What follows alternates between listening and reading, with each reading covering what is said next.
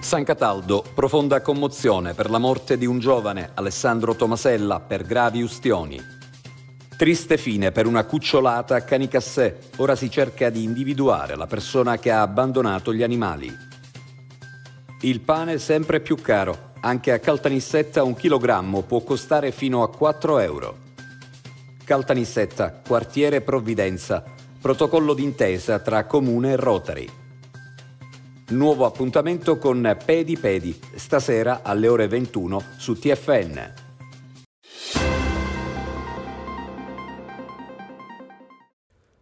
Profonda commozione a San Cataldo e non solo per la morte di Alessandro Tomasella, 31 anni, a causa di gravi ustioni riportate nella serata di lunedì. Da una prima ricostruzione, il giovane si trovava in contrada Vassallaggi, quando sarebbe stato raggiunto da una fiammata proveniente da un barbecue. Vanno alla corsa prima verso l'ospedale Sant'Elia di Caltanissetta e poi al Garibaldi di Catania. Tomasella è deceduto poche ore dopo nel corso della notte. Ustionate, ma in maniera meno grave, anche altre due persone, entrambe di San Cataldo, che avrebbero preso parte alla stessa grigliata. Del caso si occupano i carabinieri della tenenza di San Cataldo. Cordoglio e vicinanza alla famiglia di Tomasella sono stati espressi dal sindaco di San Cataldo, Gioacchino Comparato, in un post su Facebook e da un massiccio numero di amici anche sulla sua stessa pagina social.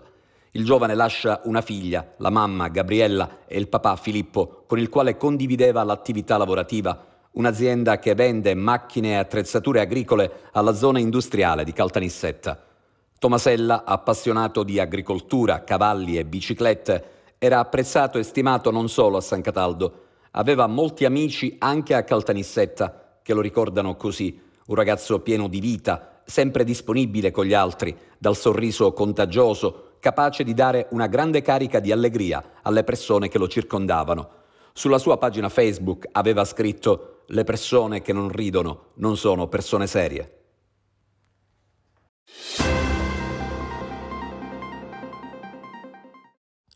Controlli in quasi tutta la Sicilia da parte dei carabinieri del NAS per prevenire e contrastare la diffusione di alimenti contaminati dal batterio della listeria, la cui diffusione ha recentemente causato diversi casi di intossicazione. L'attività degli investigatori ha riguardato anche il territorio della provincia nissena. In un salumificio di Caltanissetta, del quale è stata disposta la sospensione dell'attività oltre alle multe da diverse migliaia di euro per il titolare, i militari hanno accertato gravi carenze igienico-sanitarie, tanto da richiedere l'intervento del personale del Dipartimento di Prevenzione Veterinaria dell'ASP. I carabinieri, quando hanno controllato lo stabilimento, hanno trovato macchie di sporco, residui alimentari, tracce di sangue rappreso, residui untuosi, polvere e perfino larve di insetti in quasi tutta la superficie calpestabile della struttura. Nelle celle frigorifere utilizzate per contenere gli insaccati pronti per la commercializzazione, oltre a rilevare le medesime carenze igienico-sanitarie, sono stati trovati più di 500 kg di salumi di ogni tipo, di cui gran parte con data di scadenza superata e altri erano privi di tracciabilità. La merce è stata quindi sequestrata e sono stati prelevati dei campioni per verificare l'eventuale presenza del batterio della listeria. I carabinieri del NAS hanno anche sequestrato 75 kg di carne bovina a seguito di un altro controllo in un'azienda impegnata nel settore della lavorazione delle carni e di preparazioni gastronomiche. La carne di bovino sequestrata aveva una data di scadenza superata e nonostante ciò, secondo quanto accertato dagli investigatori, era già confezionata e pronta per essere venduta. In totale sono state 34 le attività controllate dai militari del NAS di Ragusa in diverse attività quali macellerie, salumifici ed industrie conservative ferroviarie di diverse province.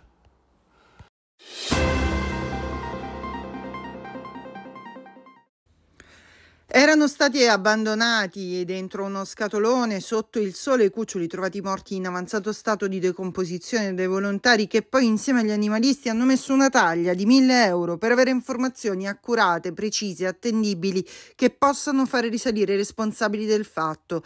L'abbandono di animali e nello specifico di cani è reato previsto dal codice penale punito dalla legge e se da un lato le associazioni lamentano una poco adeguata soluzione al problema e chiedono da anni alle amministrazioni comunali comunali e alla Polizia Municipale di pianificare controlli stringenti e maggiori misure di contrasto per la prevenzione degli abbandoni e per l'elusione dell'obbligo della microcippatura dei cani, dall'altro proprio nei giorni scorsi in municipio si è tenuta una riunione tecnica tra il sindaco Gambino, l'assessore Andaloro, il dirigente Tomasella, i responsabili dell'ufficio randagismo, il comandante della Polizia Municipale Peruga, i responsabili del servizio veterinario ASP e i volontari animalisti accreditati e le associazioni locali per fare il punto sulla situazione e trovare soluzioni. Tra le azioni che saranno attuate ci sarà l'avvio di controlli a tappeto in città con squadre miste formate da agenti della municipale e volontari esperti per la vigilanza sul rispetto delle norme di polizia zoofila e antirandagismo.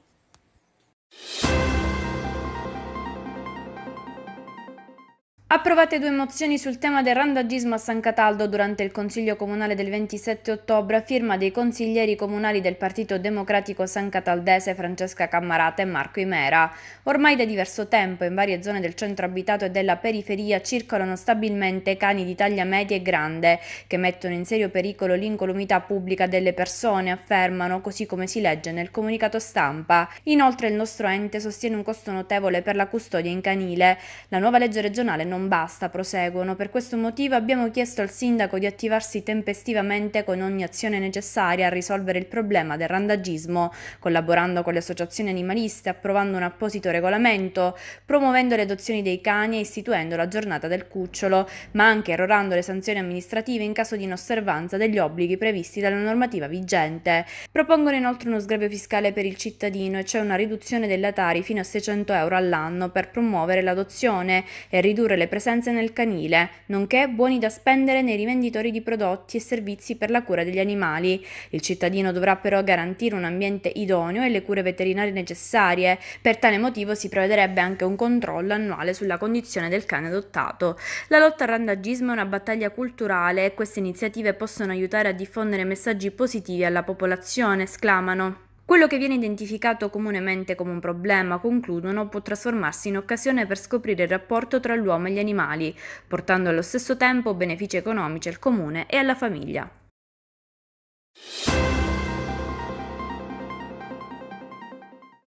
A partire dal 31 ottobre il pane a Canicattì sarà venduto 4 euro al chilogrammo. L'annuncio arriva dai 26 panificatori della città a margine di un confronto. Una scelta dolorosa ma quasi obbligatoria a causa del vertiginoso aumento dei prezzi dell'energia. Alcuni di loro si sono visti recapitare bollette superiori a 10.000 euro. Così si sono ritrovati ad un bivio, chiudere le attività o aumentare il prezzo del pane. Intanto i panificatori della provincia di Agrigento hanno annunciato la loro presenza alla manifestazione regionale che si terrà a Palermo il prossimo 7 novembre. Per quanto riguarda Caltanissetta abbiamo sentito il presidente della categoria panificatori Antonio Amico. Caltanissetta eh, da circa un mese un, una buona parte dei nostri colleghi abbiamo aumentato il pane. Eh, anche noi abbiamo portato il pane a circa 4 euro al chilo.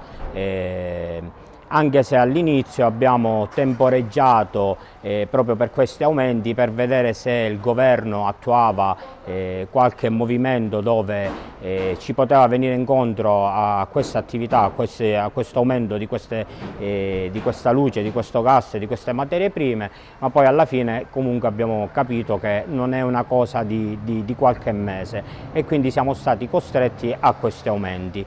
E mi auguro che questo nuovo governo possa eh, subito adoperarsi per, eh, per, venirci incontro, eh, per, venirci incontro, e non solo, perché non solo ci aumentano scusate, le, le, materie, le, materie, prime come ho già detto, ma anche luce e gas e speriamo che eh, possa, eh, possano adeguarsi tutti i prezzi.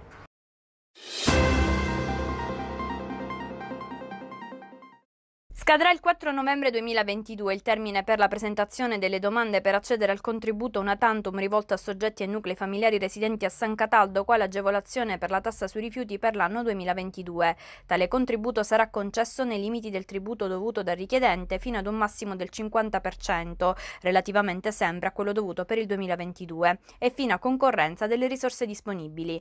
Verrà assegnato poi un punteggio in relazione alla situazione economica di chi presenta l'istanza. Infatti, ad esempio, verranno assegnati 11 punti per chi possiede un ISEE ordinario o corrente inferiore a 6.000 euro e poi ancora diversi punteggi in relazione anche alla composizione del nucleo familiare, legata alla fascia di ISEE da 6.000 a 10.000 euro o da 10.000 a 17.000 euro.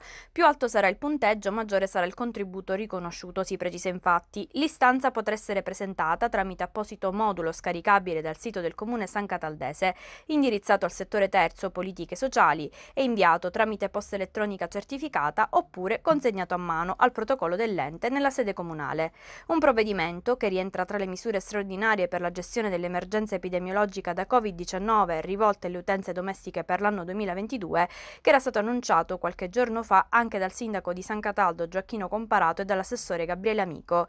Si tratta di un altro importante intervento per chi vive in una situazione di disagio, hanno affermato, una misura che consideriamo essenziale vista la crisi energetica e i danni della pandemia. La nostra amministrazione ha chiare le difficoltà che stanno vivendo molti cittadini sancataldesi. Per questo, in cima alle nostre priorità, stiamo lavorando per creare opportunità di sostegno delle famiglie. Questo è il primo di una serie di provvedimenti per provare a calmierare l'attuale l'attuale crisi, hanno aggiunto. Nelle prossime settimane pubblicheremo anche un bando per venire incontro ai cittadini che hanno delle difficoltà nel pagamento delle utenze energetiche e idriche.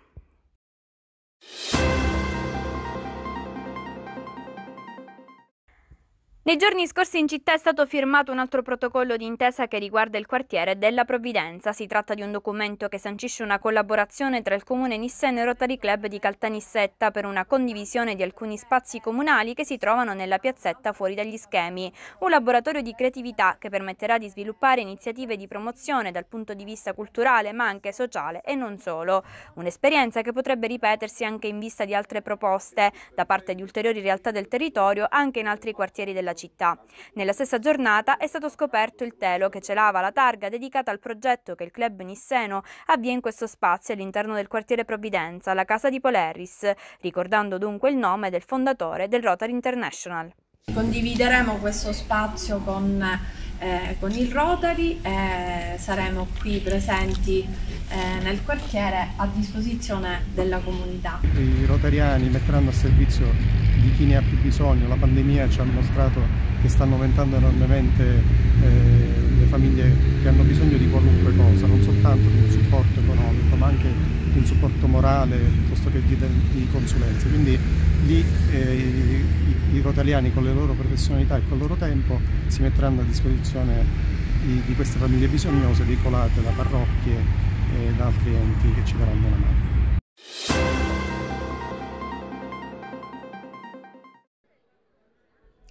Scuole rurali in vendita. È stato pubblicato l'apposito avviso sul sito del comune Nisseno relativo alle scuole rurali di proprietà comunale attraverso un'asta pubblica con il metodo dell'offerta segreta da confrontare con il prezzo di gara che si svolgerà il 6 dicembre. Si tratta di nove lotti, un immobile in contrada Bulgarella, uno in contrada Misteci, un fabbricato in contrada Favarella Bassa, uno in contrada Gessolungo, un altro immobile in contrada Grottarossa, contrada San Martino, Mimiani Bosco, marcato da Rigo e la scuola elementare rurale di Contrada Santa Lucia che come indicato nel documento risulterebbe demolita e dunque viene inserito soltanto il prezzo del terreno, mentre negli altri casi tra fabbricato e terreno i costi totali variano da poco più di 36.000 euro sino a quasi 10.000.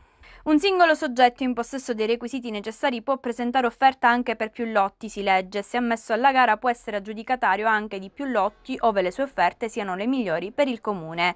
Si parla anche delle destinazioni d'uso ammesse, cioè quelle congruenti con le caratteristiche tipologiche di ciascun manufatto. In particolare si precisa le scuole rurali in gran parte oggi inutilizzate devono essere destinate ad attrezzature scolastiche o a servizi pubblici di interesse collettivo. La scadenza per la presentazione delle offerte è prevista prevista per il 5 dicembre 2022 entro e non oltre le ore 12. Le offerte dovranno pervenire o essere recapitate con qualsiasi mezzo al protocollo del comune di Caltanissetta di Via Duca degli Abruzzi, in busta chiusa, sigillata e controfirmata su tutti i lembi di chiusura recante, a pena di esclusione, il nominativo, il domicilio del mittente e la dicitura. Non aprire offerta relativa alla vendita di beni immobili di proprietà comunale, mediante asta pubblica da consegnare all'ufficio patrimonio. L'apertura dei plichi in forma pubblica poi avverrà il 16 dicembre alle ore 10 nella sede della Direzione Seconda Servizi Patrimoniali, sempre in Via Duca degli Abruzzi.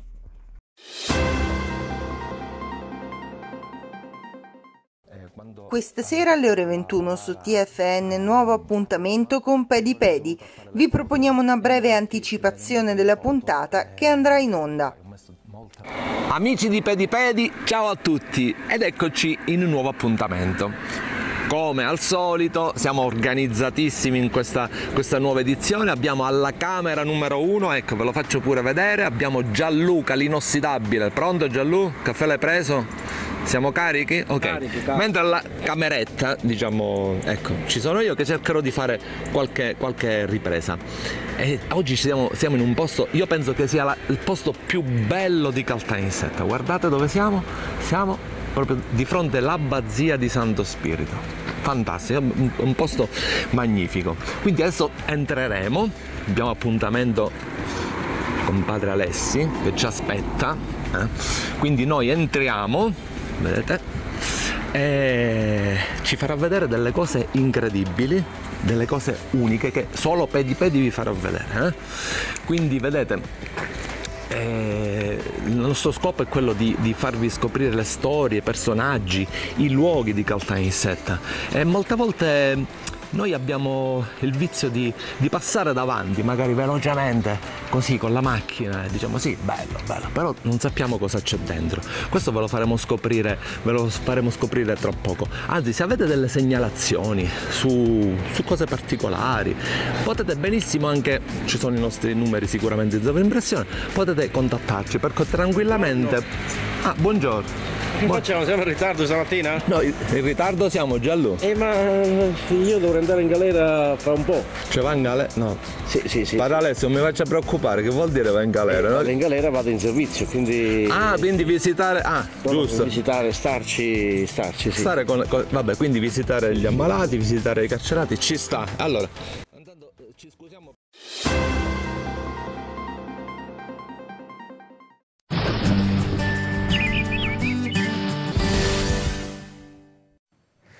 Bentrovati a un aggiornamento con le previsioni per la giornata di mercoledì sull'Italia, di fatti ancora infiltrazioni di aria umida in quota anche se l'alta pressione momentaneamente di nuovo tornerà sul nostro paese. Da ovest però si preparerà un nuovo minimo di bassa pressione che attraverserà il nostro paese proprio nel fine di settimana, venerdì. Nel dettaglio la mappa della nuvolosità, della variabilità in particolar modo sulla Liguria. Difatti in questa regione, come notiamo dalla prossima immagine, ci sarà qualche precipitazione, qualche locale rovescio.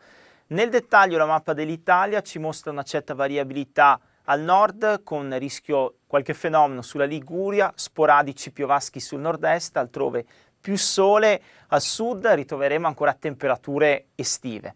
Dettagli e approfondimenti sulle vostre località di interesse scaricando l'app di Trevi Meteo. Servizi di pubblica utilità. Farmacie di turno, Caltanissetta, servizio diurno. Centrale, Corso Umberto. Servizio notturno. Al Duomo, via Filippo Paladini.